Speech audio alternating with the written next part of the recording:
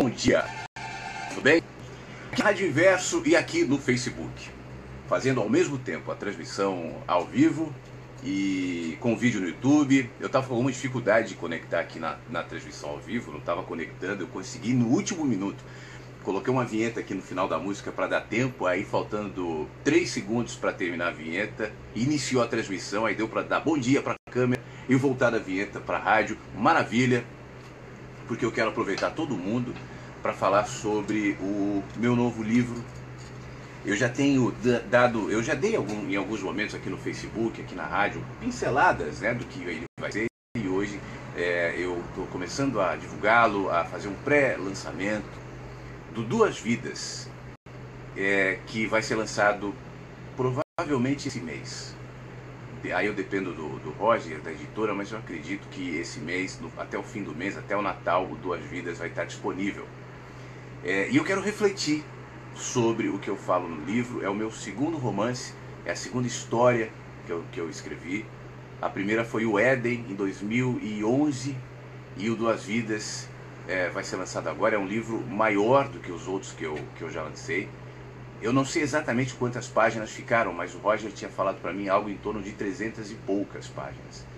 Esse livro conta duas vidas de um homem, entre tantas vidas que todos nós temos, né? E por isso mesmo ele é contado em, em dois tempos, em primeira pessoa, e cada capítulo é, expressa um momento dessa vida. Então, esse homem é o seguinte: eu vou contar mais ou menos a história dele, para a gente refletir em cima e para você entender. É um advogado ambicioso, um cara que veio de uma família simples, filho de pessoas humildes, foi ajudado quando mais jovem por um, um empregador, um português, dono de uma, de uma mercearia, que identificou nesse rapaz potencial.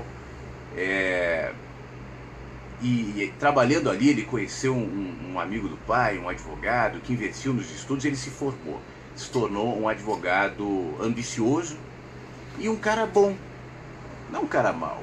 Né? É um cara que vai lidando com as ambivalências da vida e fazendo escolhas. E as escolhas que ele faz, e isso no livro é, é colocado muitas vezes, ele diz assim: olha, quando eu cheguei aqui as coisas já eram assim. Se eu pudesse mudar, eu mudaria. Mas não é assim. A gente tem que escolher um lado, a gente tem que aderir, jogar o jogo do sistema. E eu assumo que eu sou bom nisso. Eu sou um cara sedutor, eu sou um cara inteligente, eu sou um cara é, com uma formação legal, eu sou um cara ambicioso. Então eu vou jogando conforme o sistema vai me colocando as cartas e confesso, estou indo muito bem. Pensa o Thales, que é esse personagem principal do livro. É, ele vai subindo na vida de maneira muito rápida. É, entra na política, e exatamente pelo seu perfil jovial, pelo seu perfil articulado, por ser uma pessoa inteligente e representar uma renovação na política, ele, a despeito e a espanto de todos, é eleito governador do estado, de um grande estado, né? de, uma, de uma das principais cidades daquele país. Eu não entro em detalhes de qual estado, qual cidade, isso não é o caso. É uma cidade fictícia ali do livro. Uh, Para se eleger, e a gente sabe como é, como, como é que isso funciona, ele precisa aderir aos apoios, ele precisa fazer uma série de concessões, e à medida em que ele vai fazendo essas concessões, esses pensamentos que há pouco eu disse, eu sou um cara legal, eu sei que o que eu estou fazendo não é o ideal, mas o que, que eu vou fazer? As coisas são assim. Pelo menos eu estou ajudando algumas pessoas. Tal. É como ele vai relativizando o peso de ferir a própria consciência enquanto faz concessões, como por exemplo, aceitar o apoio do principal articulador e apoiador financeiro da sua campanha, que é um cara muito poderoso, é um homem chamado Profeta Davi. O Profeta Davi é dono de uma grande igreja, não só de uma grande igreja, é dono de um grande império de comunicação. Rede Glória de televisão, é a emissora de televisão do Profeta Davi, que tem jornal, que, tem, que é dono da política, que é dono de tudo ali. O cara tem muito dinheiro. E é um cara que financia sempre os candidatos, tem um monte de vereadores, deputados estaduais, federais, tudo é, nas asas dele. E ele vai lá e, e financia o nosso querido Thales, governador. A partir daí, o profeta Davi vira o principal caroço ali no, na vida do Tales, pedra no sapato dele. Depois de eleito, é claro que a demanda vai ser cobrada, a conta vai ser cobrada, e ele vai ter que articular essa história, vai ter que tentar, é, é, de alguma maneira, equilibrar né, as concessões que fez para se eleger. Acontece que ele vai entrando cada vez mais num emaranhado de problemas. Por sua vez, o profeta Davi, que o apoiou, é um homem muito controverso, ele é acusado de vários crimes, inclusive de envolvimento com o narcotráfico, com o principal traficante é, da América do Sul, um cara chamado Pablo Santiago, que é o cara que é, tá por trás ali, pelo menos é o que se acusa, e, e, dentro desse processo de indiciamento, de acusação em relação ao profeta Davi, algumas mortes misteriosas, algumas coisas acontecem, pessoas somem e tal é um cara muito poderoso. Enquanto ele é acusado, ele vai fazendo um, um, uma campanha de auto-vitimização. Perseguição, perseguição religiosa tal. E isso vai fazendo com que ele cresça ainda mais. Ele apanha e cresce. As pessoas xingam, as pessoas acusam e ele cresce. Porque em volta os seus seguidores dizem é perseguição, perseguição da mídia, perseguição de quem não quer é, as benfeitorias que o profeta Davi faz à população. Ele é um cara muito bom, então a mídia está perseguindo, os políticos poderosos estão perseguindo. Ele cresce com isso. O, o governador Tales fica numa saia justa que envolve o presidente da República também, é, em algumas conversas e algumas tentativas de aproximação do profeta Davi com o presidente da República.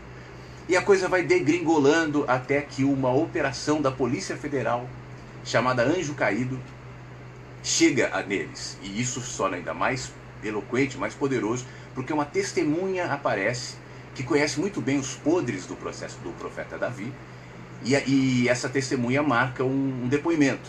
Esse depoimento vai expor não só o profeta Davi, mas consequentemente, pelo fato dele ser um cara muito poderoso que financia muita gente, políticos como o próprio governador Tales, como o próprio presidente da República, ou pelo menos os seus associados, os seus aliados, os seus ministros, mais ou menos como essa história da delação da Odebrecht.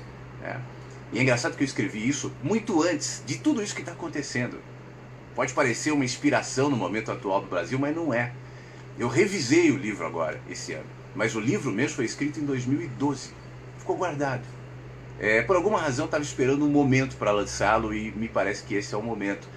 Eu fiquei impressionado quando eu revisei o livro agora há pouco, quantas coincidências, quantas coisas é, que estão acontecendo hoje. Mas o fato é que por uma série de razões o nosso querido governador Tales perde o mandato. perde o mandato. E de uma maneira muito conturbada, tal, ele dá um jeito de se esconder, de fugir. E some. Né? As pessoas pensam que ele morreu. E ali eu explico por quê. Isso dá oportunidades para que ele retome, escondido, e desiludido, e desgastado, e deprimido, e ele volta como um mendigo então ele recupera, ele vai vivendo como mendigo, ele vai ter os seus encontros, as suas questões, os seus dilemas. É um livro de redenção humana. Ele vai se reencontrar, pelo menos ele está tentando, esse é o caminho. Vai fazer as avaliações do que ele foi, do que ele fez, do porquê fez, sem aquela coisa moral, moralista. Isso não está no meu trabalho e não vai estar tá no meu livro, lugar nenhum. O que eu fiz está errado, está certo. Não é isso. É uma reflexão mais existencial, mais filosófica em relação, inclusive aos nossos sistemas, às nossas posturas, às nossas escolhas, os nossos aliados. Não são só os políticos que têm aliados, nós temos aliados na nossa vida, no nosso dia a dia. Então é uma reflexão para cada um de nós com um cenário político que tem a crítica, não só política, mas a crítica dessa manipulação religiosa. É, hoje em dia, a, a, algumas religiões são verdadeiras instituições políticas, né? com representantes cheios de barganhas com partidos, com, com tanta coisa ruim. Impérios de comunicação também tem na história o dono da, da grande eh, rede de comunicação que compete com o nosso querido profeta Davi, com a Rede Glória. Tem a outra rede, o principal rede daquele lugar. E esse cara, o dono dessa rede, é envolvido também. Ele tenta mexer nas notícias, ele tenta negociar com o governador, com o presidente. É uma crítica à imprensa também não a imprensa de maneira geral, mas a essa, a essa mistura de interesses políticos, religiosos e noticiosos e comerciais e de poderes, isso tudo está misturado no livro, enquanto também eu tento falar sobre a, a degradação humana e como nós lidamos com os invisíveis, como o mendigo, o Thales mendigo, né, que se vê e que se sente e que se sabe invisível. em determinado ponto do livro ele fala: No começo eu temia ser reconhecido como o cara que estava com o rosto estampado nos outdoors, que fazia pronunciamento na televisão, o jovem ambicioso governador agora como mendigo. Mas depois eu percebi que as pessoas só veem o que querem ver. E o mendigo ninguém quer ver. Portanto, como mendigo, sou invisível. Então, reflexões desse tipo vão sendo tecidas também durante as trezentas e poucas páginas de Duas Vidas, aonde nossas escolhas nos levarão. É o subtítulo do livro. Né? É, outra sensação que ficou em mim depois que eu revisei o livro é que o livro nos dá elementos para a gente enxergar esse momento do Brasil e do mundo.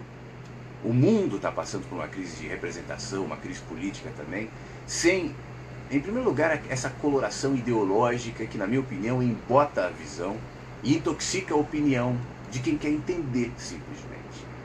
Enquanto ficam se acusando, a esquerda diz isso é culpa da direita, e a direita diz isso é culpa da esquerda tira a esquerda ou tira a direita e tudo se resolverá, jamais teremos condições de entender o que está acontecendo. Sem a, a aplicação moral, esse é um safado, aquele não é. Este é horrível, aquele não é. Aos poucos, nós vamos vendo no Brasil, me perdoe o, exagero, possível exagero, mas aos poucos a gente vai vendo que quase todos são safados. Quando eu falo com algumas pessoas, por exemplo, que defendem esse ou aquele lado, criticando o outro, né? eu digo para essas pessoas: olha, você tem toda razão em relação às suas críticas, concordo contigo, mas discordo contigo nas suas defesas. O fato de criticar um lado não quer dizer que você deve defender o outro. O lado, se um lado é ruim, isso não quer dizer que o outro é bom. Essa é a visão maniqueísta. Nós somos o bem, eles são o mal. Eu tento é, trabalhar bastante isso no livro, nos pensamentos do, do Tales, do governador, de que nada e ninguém é totalmente do mal ou totalmente do bem.